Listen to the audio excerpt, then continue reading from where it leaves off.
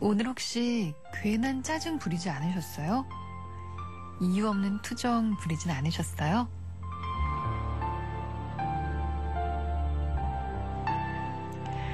그럴 때 있잖아요. 자기 자신한테 짜증난 건데 괜히 주변 사람한테 불똥 튈 때.